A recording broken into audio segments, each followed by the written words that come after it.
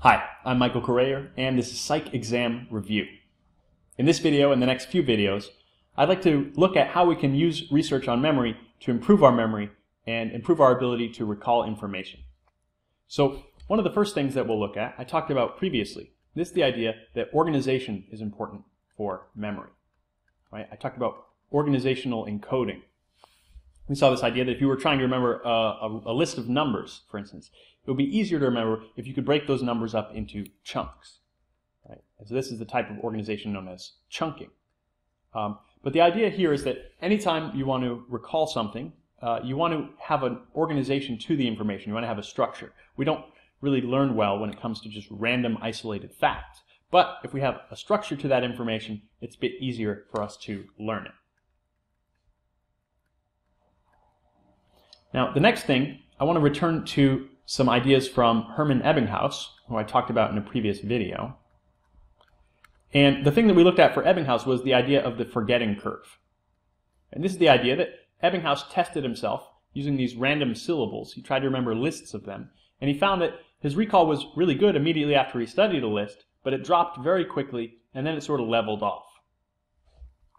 And the idea of the forgetting curve is that each time you review the information, you're sort of raising that curve back up. You're starting here again. And it gradually falls over time and it levels off, but you'll know a little bit more than you did before.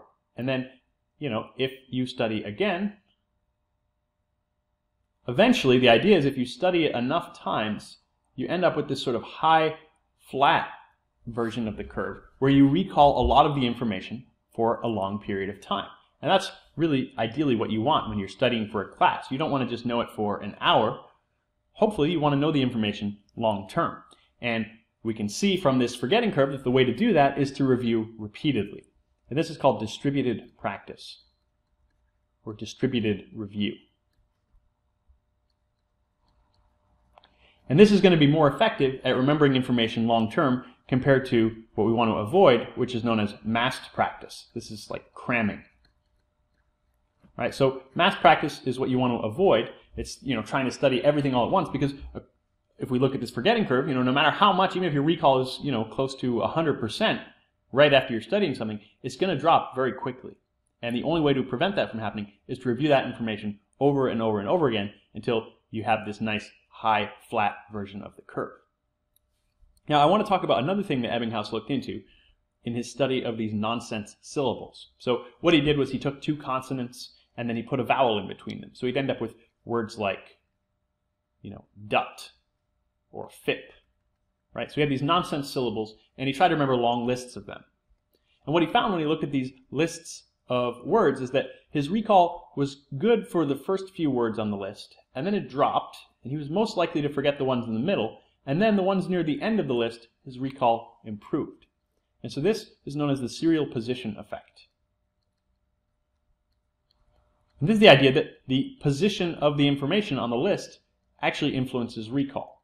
And it's easier to remember things at the beginning of the list and at the end of the list. So uh, this serial position effect, there's really two effects here. And the first one is called primacy. So that's referring to the idea that we remember things at the beginning of a list better. And then the things at the end of the list, this effect is referred to as recency. Okay, so what does this have to do with our study habits? Well, again, if we return to this idea of distributed review, we can see another benefit. And the other benefit comes from this serial position effect. So you can imagine that if you were to study for, you know, let's say this is a two hour, you know, cram session here. Well, you're going to have the primacy effect here, and you're going to have, you know, the recency effect here.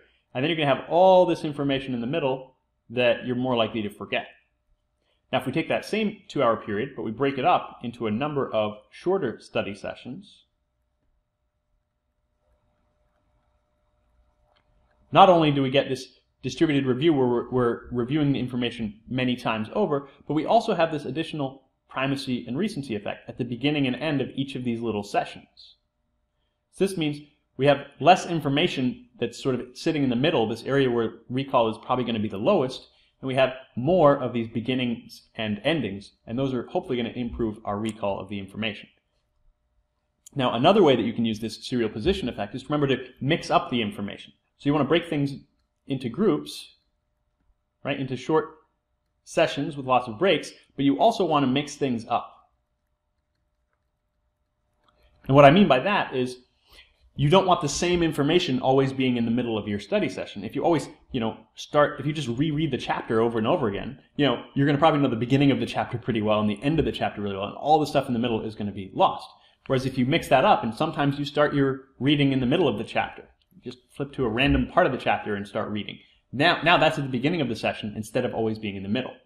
This is part of the reason why flashcards are a pretty effective strategy, is that you can shuffle the cards up. So each time you sort of go through your flashcards, hopefully they're in a different order. And so different information is going to be first and different information is going to be at the end.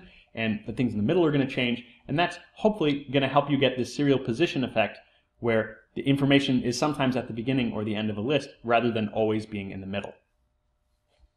Okay, now the hardest part about applying this strategy is that when you take lots of breaks, you have to remember to actually get back to studying after. That's probably the biggest downfall for a lot of students. They say, okay, I'm going to study, you know, uh, and then 15 minutes I'm going to take a break, and then that break that's supposed to be five minutes ends up, you know, half an hour later, they're still reading things on Facebook, and they realize, oh yeah, I should probably get back to studying. So when you apply this, you want to try to have a system and a structure to your time management that will sort of force you to get back to studying. Okay, so let's look at another way that you can improve your studying. And this one you might not like to hear. And this is the idea that tests are actually a good thing. And this is referred to as the testing effect. And the idea here is that testing yourself on the material will actually help you to recall it better than simply reviewing. So the testing effect is that testing is more effective than reviewing. So you're better off testing yourself on a chapter rather than just rereading it. Okay, so why is this? Well, part of the reason is that there's a difference between recall and recognition. Recognition is much easier. So if you look at some term from the chapter, when you read the definition, there's a tendency to be like, yeah, I knew that, right? Like I recognize that that's the definition of that term. Versus if I ask you to define the term, right? Now we're looking at recall. This is much harder to do. You know, for instance, if we looked at some information that I've talked about recently, the, the seven sins of memory. Now, if you look at a list of this, you know, Daniel Schacter's seven sins of memory, you'll probably recognize all of them because if you've watched these earlier videos, you're familiar with them. So you look at them and say, oh yeah, I recognize all of those. And you feel kind of like you know them. But that's very different than if I said, what are the seven sins? Write them down. You know, come up with the list. That's going to be a lot harder. But if you do that, if you force yourself to try to recall the information, you're going to remember it better. And also part of this recognition, this relates to a bias that I think I've mentioned in a previous video. Whoops. And this is called hindsight bias.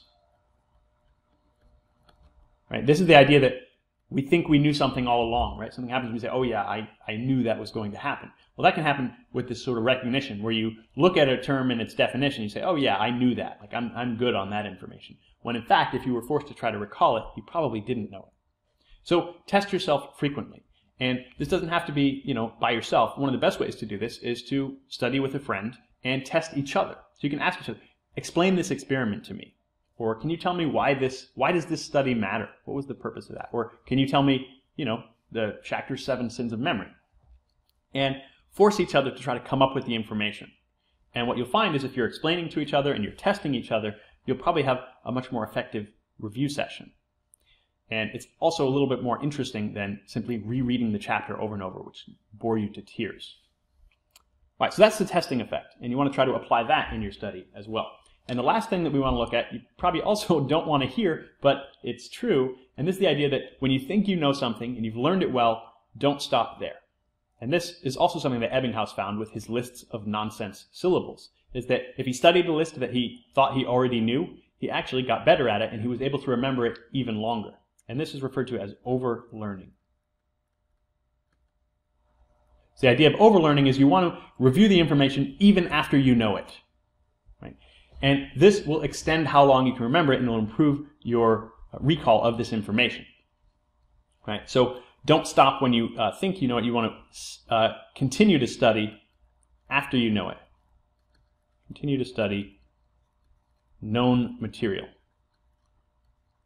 Now, in, in my own case, I've certainly experienced this because I've overlearned a lot of introductory psychology knowledge. You know, I've, I've read books and I've taken classes, but then when I was teaching, of course, I had to cover information that I already knew, but I was covering it again. And that meant I was reading about it again, and I was talking about it, and I was answering questions from students, or I was tutoring people in this knowledge.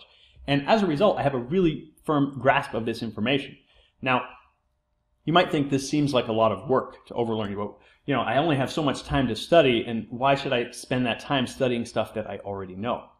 Right? And it, might seem like it's uh, inefficient that way, but it actually is more efficient. And what I mean by that is it allows you to learn new material more quickly. So, for instance, in my own case, I have a, I think, a pretty good grasp of introductory psychology knowledge. And if I learn something new about psychology, I sort of already have this firm network to attach that information to. Whereas if you only study something enough to know it for a little while, and then two weeks later or a month later you've forgotten it, now when you learn something new, it's like you're starting all over. You don't have anything to connect it to.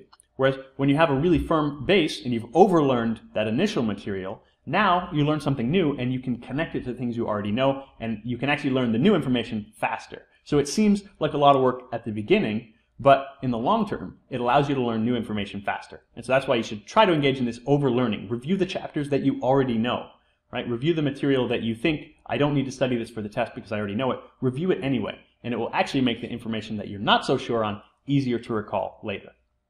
Okay, in the next video, we'll look at a little more detail on this idea and we'll see how our memories are sort of connected in networks and how we can use that to improve our recall. I hope you found this helpful. If so, please like the video and subscribe to the channel for more. Thanks for watching.